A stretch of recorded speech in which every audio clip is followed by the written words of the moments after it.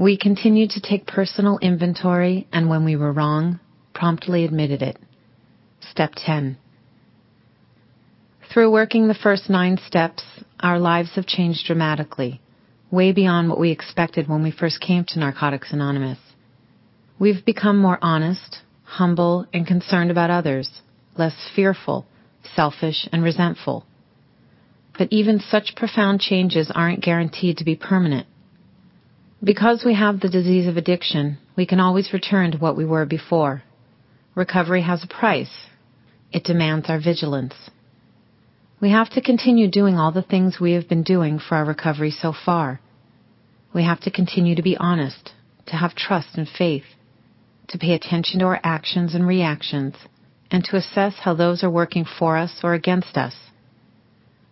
We also have to pay attention to how our actions affect others, and when the effects are negative or harmful, promptly step forward and take responsibility for the harm caused and for repairing it. In short, we have to continue to take personal inventory and promptly admit our wrongs.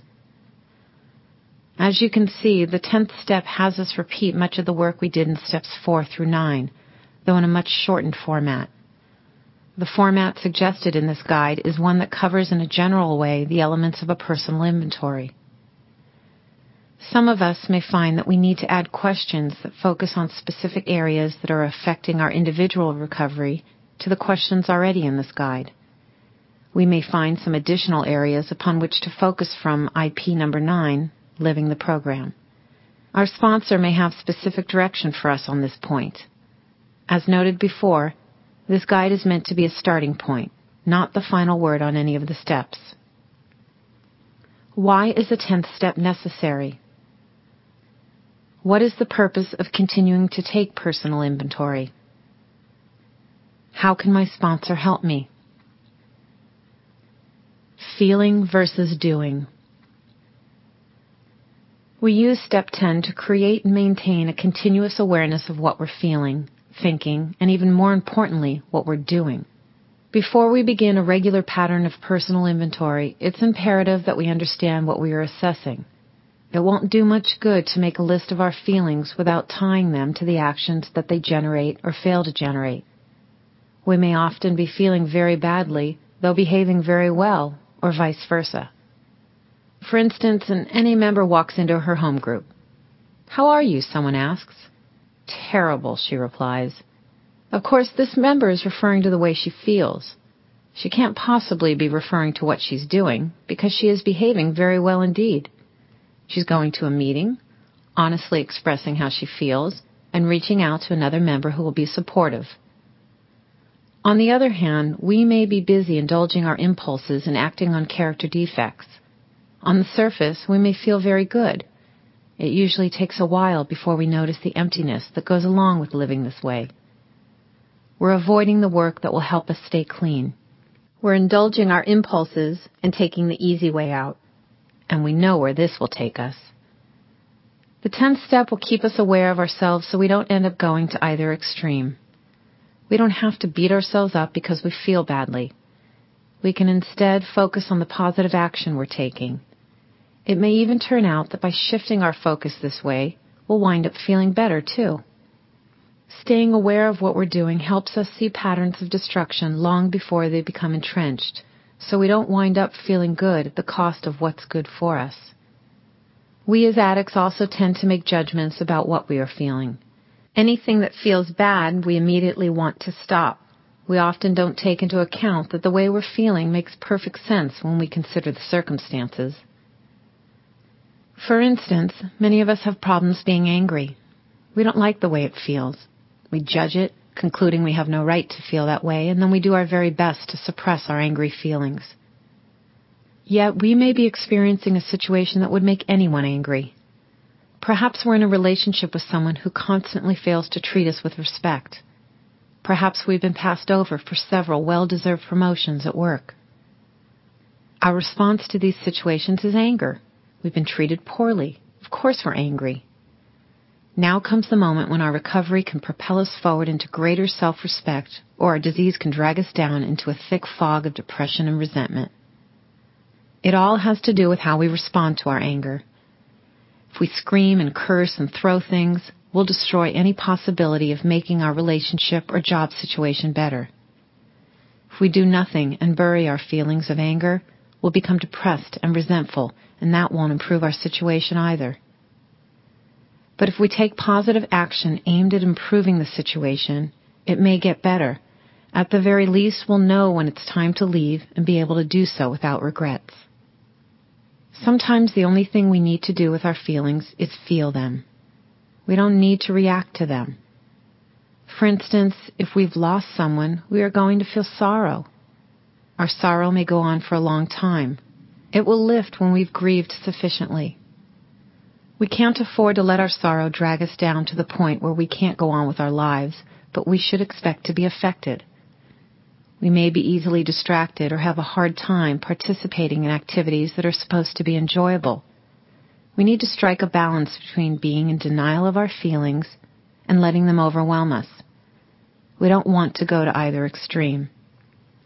This seems like a simple concept, almost as if it could go without saying, but many of our members share that it takes years of recovery before we're able to achieve a balance most of the time.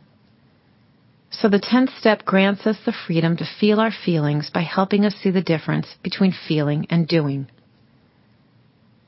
Are there times in my life when I am confused about the difference between my feelings and my actions? Expand on this. Right and wrong. The tenth step tells us that we have to promptly admit when we're wrong. The step seems to assume that we know when we're wrong, but the fact is that most of us don't, at least not right away. It takes the consistent practice of taking a personal inventory for us to become proficient at figuring out when we're wrong. Let's face it, when we were new in recovery, we had been at odds with the rest of the world for some time. As the basic text says, our living skills were reduced to the animal level. We didn't know how to communicate with others well. We began to learn in recovery, but in the process we made a lot of mistakes. Many of us went through a period of time when we became very rigid about the values we had developed in recovery. We applied that rigidity not only to ourselves, but to everyone around us. We thought it was principled and correct to confront those whose behavior was unacceptable. In truth, it was our behavior that was unacceptable. We were self-righteous and overbearing. We were wrong. Or some of us, after years of serving as a doormat for everyone to walk across, decided our recovery required that we become assertive. But we went too far. We demanded that everyone treat us perfectly all the time. No one could have a bad day and fail to return our phone call. No one was allowed to be emotionally unavailable to us for any length of time. We angrily demanded perfect service at the places we did business. We weren't being assertive. We were being immature and belligerent. We were wrong. We can even end up being wrong if someone hurts us. How? Say our sponsor says something very hurtful to us. Instead of taking it up with our sponsor, we talk to 10 or 12 of our closest friends at the next three meetings we go to. Before the week is through, half our local NA community is talking about the rotten things so and so said to one of his sponsees and that's if the story stayed as it was originally. So the situation started out with us having done no wrong, but ended up with us being responsible for damaging our sponsor's reputation in the program. The place where he needs, as much as we do, to be allowed to make mistakes and recover at his own pace. Have there been some times in my recovery when I've been wrong and not been aware of it until later? What were they? How do my wrongs affect my own life? Others' lives. It's hard enough to figure out when we're wrong. Admitting our wrongs can be even more challenging. Just like in the ninth step, we have to be careful that we aren't doing more damage by making the admission. For instance, many of us realize we've hurt someone close to us, perhaps because the person stopped speaking to us, but aren't quite sure what we said or did wrong. Rather than taking the time to reflect on what we might have done or ask the person, we decide we'll just cover all eventualities and make a blanket admission. We approach the person and say, Please forgive me for anything I've ever, in all the time we've known each other, done to offend you or hurt you. The tenth step requires that we take the time for personal reflection for instances just like this. Chances are that if we think about when the person's attitude toward us changed, and think about our behavior immediately preceding that change, we'll know what we did wrong. It might be painful or embarrassing to think about.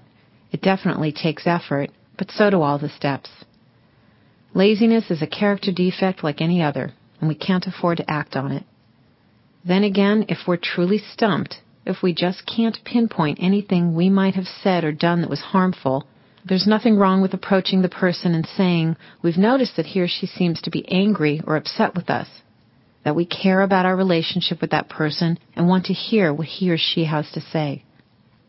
Most of us are afraid of what we'll hear in a situation like this, but we can't let our fear stop us from working step 10. There's another way we can render our admission of wrong completely ineffective. Admit we're wrong, and then immediately point out what the other person did first that made us act as we did. For instance, say one of our children used poor manners, so we yelled at her and called her a name. Now, when we admit we were wrong, if we tell our child that her behavior made us act the way we did, we've just delivered a message that justified our first wrong thus making ourselves doubly wrong. Unlike the process contained in steps 4 through 9, when we go through events from the past, step 10 is designed to keep us current. We don't want to let unresolved wrongs pile up. We need to try our very best to stay abreast of what we're doing. Most of our work will be done by making constant adjustments to our outlook. If we find ourselves becoming negative and complaining all the time, we might want to spend some time thinking about the things for which we are grateful. We need to pay attention to the way we react when we've done something wrong. Is it our first impulse to make an excuse? Are we claiming to be victims of someone's negative influence or of our disease? All excuses aside, we are responsible for what we do. It may very well be that our character defects got the better of us, but that doesn't excuse our behavior we need to accept responsibility and continue to be willing to have our shortcomings removed. When we were wrong, promptly admitted it. What does this mean to me? Have there been times in my recovery when I've made situations worse by talking to someone before I should have or blaming my behavior on someone else? What were they? How does promptly admitting my wrongs help me change my behavior? Step 10 points out the need to continue taking personal inventory and seems to assert that we do this solely to find out when we're wrong. But how can we identify the times we're wrong unless we also have times we're right as a basis for comparison? Identifying the times we do things right and forming personal values are as much a part of personal inventory as identifying our liabilities. Most of us have a very difficult time with the concept of being right we think of the times we vigorously defended an opinion because we just knew we were right. But in light of our recovery, we've come to understand that trampling over others in a discussion makes us wrong. Or we think of our personal values. We know they're right for us, but if we began insisting that others live them, we would no longer be right, but self-righteous. So, how do we get comfortable with being right? First and foremost, by working the sixth and seventh step so that our character defects don't turn our positive acts into negative acts. Then we have to realize that it will probably take some time and some trial and error before we are completely comfortable in our new lives and recovery. Have there been situations in my recovery in which I felt uncomfortable about acknowledging something I had done well? Describe. How often should we take a personal inventory? It works how and why tells us that while our goal is to maintain continuous awareness of ourselves throughout each day, it's very helpful to sit down at the end of each day and work this step. We need the consistency of doing something every day for it to become a habit and to internalize the spiritual principles of the activity. As we stay clean and our days of continuous abstinence turn into weeks and months and years, we'll find that taking a personal inventory has become second nature. We'll find that keeping track of our spiritual fitness comes naturally without our having to think too much about it. We'll notice right away when we're headed in a direction we don't want to go or about to engage in a behavior that's sure to cause harm. We become able to correct it. So the frequency of our formal efforts to take personal inventory may depend on our experience with recovery. In the beginning, some of us sat down at the beginning of our day, at the end of our day, or even both times, and went through IP number nine, living the program, or something similar and took our spiritual temperature. The point is that we want to keep at it until it becomes a habit, until it's second nature to continuously monitor our recovery and our spiritual state, notice when we're going off course right away, and work to change it. Why is it important to continue to take personal inventory until it becomes second nature? A personal inventory. The following questions address the general areas we want to look at in a personal inventory. There may be times when our sponsor wants us to do an inventory on a specific area of our lives, such as romantic relationships or our patterns at work, or our sponsor may have specific questions to add to this. We should always consult our sponsor on any step work we're doing. Have I reaffirmed my faith in a loving, caring God today? Have I sought out the guidance of my higher power today? How? What have I done to be of service to God and the people around me? Has God given me anything to be grateful for today? Do I believe that my higher power can show me how to live and better align myself with the will of that power? Do I see any old patterns in my life today? If so, which ones? Have I been resentful, selfish, dishonest, or afraid? Have I set myself up for disappointment? Have I been kind and loving toward all? Have I been worrying about yesterday or tomorrow? Did I allow myself to become obsessed about anything? Have I allowed myself to become too hungry, angry, lonely, or tired? Am I taking myself too seriously in any area of my life? Do I suffer from any physical, mental, or spiritual problems? Have I kept something to myself that I should have discussed with my sponsor? Did I have any extreme feelings today what were they and why did I have them? What are the problem areas in my life today? Which defects played a part in my life today? How? Was there fear in my life today? What did I do today that I wish I hadn't done? What didn't I do today that I wish I had done? Am I willing to change? Has there been conflict in any of my relationships today? What? Am I maintaining personal integrity in my relations with others? Have I harmed myself or others, either directly or indirectly today? How? Do I owe any apologies or amends? Where was I wrong? If I could do it over again, what would I do differently? How might I do better next time? Did I stay clean today? Was I good to myself today? What were the feelings I had today? How did I use them to choose principle centered action? What did I do to be of service to others today? What have I done today about which I feel positive? What has given me satisfaction today? What did I do today that I want to be sure I repeat? Did I go to a meeting or talk to another recovering addict today?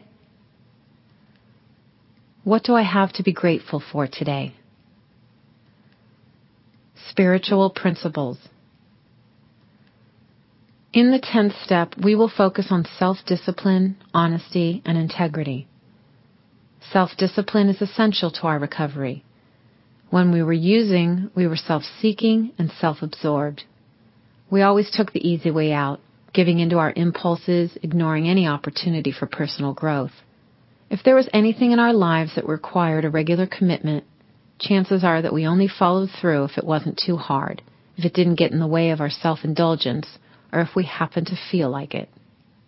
The self-discipline of recovery calls on us to do certain things regardless of how we feel. We need to go to meetings regularly, even if we're tired, busy at work, having fun, or filled with despair. We need to go regularly, even when, especially when, we're feeling hostile toward the demands that recovery makes on us. We go to meetings, call our sponsor, and work with others because we have decided we want recovery in NA, and those things are the actions that will help assure our continued recovery. Sometimes we're enthusiastic about these activities. Sometimes it takes every bit of willingness we possess to continue with them. Sometimes they become so woven into our daily existence, we're hardly aware that we're doing them.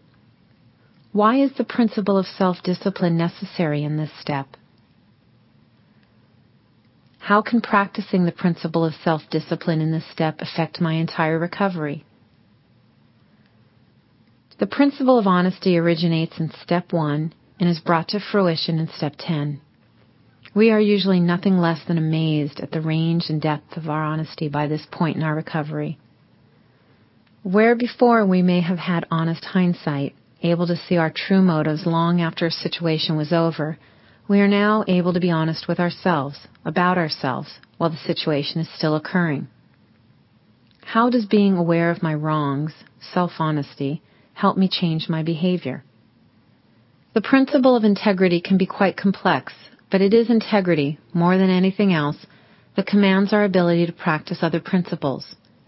In fact, integrity is knowing which principles we need to practice in a given situation and in what measure.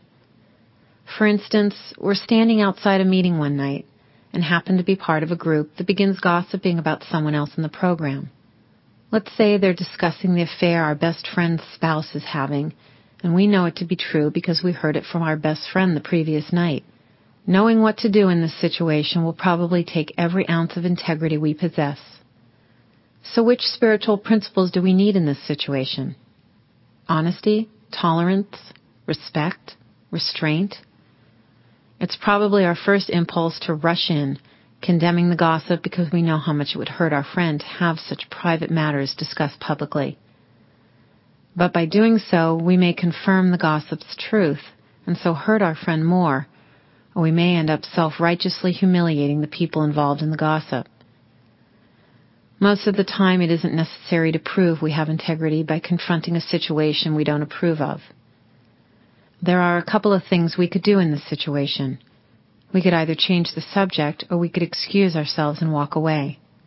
Either of these choices would send a subtle message about our feelings and at the same time allow us to be true to our own principles and spare our friend as much as possible.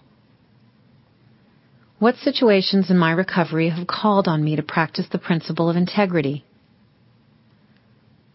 How have I responded? Which times have I felt good about my response and which times have I not? Moving on.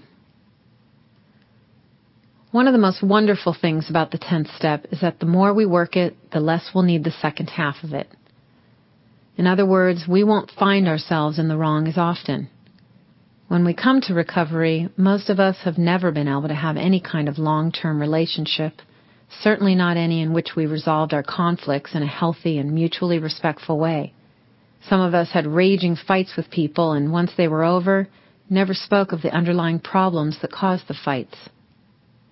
Some of us went to another extreme never disagreeing at all with the people who were supposed to be our closest friends and relatives. It seemed easier to keep our distance than to risk creating a conflict that we may then have had to deal with. Finally, some of us just walked away from any relationship in which conflict arose. It didn't matter how much we were hurting the other person. It seemed easier than working through a problem and building a stronger relationship. The tenth step makes it possible for us to have long-term relationships. And we need to have long-term relationships, especially in NA. After all, we depend on each other for our very lives. Many of us feel deeply connected to the people who came to NA when we did and have stayed around. We've done service work with one another, shared apartments with one another, married one another, and sometimes divorced one another. We've celebrated milestones in each other's lives births, graduations, buying homes, promotions, and recovery anniversaries. We've mourned losses together, and we've comforted one another through the painful times in life. We've touched each other's lives and formed a shared history. We are a community. Along with learning to admit when we're wrong comes a freedom that is unlike any we've ever experienced before. It becomes so much more natural for us to admit when we're wrong that we wonder why we ever found it so terrifying. Perhaps because we felt so less than in so many ways, an admission of a mistake felt like we were revealing our deepest secret, our inferiority. But when we found out through working the steps that we weren't inferior at all, that we had just as much value as anyone else, it no longer seemed so crushing to admit we were wrong. We began to feel whole. How does the tenth step help me live in the present? What am I doing differently as a result of working step 10? Working the 10th step makes it possible for us to achieve more balance and harmony in our lives. We find that we're happy and serene much more often than not feeling out of sorts becomes so rare that when it does happen, it's a signal that something is wrong. We can readily identify the cause of our discomfort by taking a personal inventory. The personal freedom that has been building since we began working the steps yields an increase in our choices and options. We have total freedom to create any kind of life we want for ourselves. We begin to look for the meaning and purpose in our lives. We ask ourselves if the lifestyle we have chosen helps the still suffering addict or makes the world a better place in some other way. What we are searching for, we'll find in the 11th step.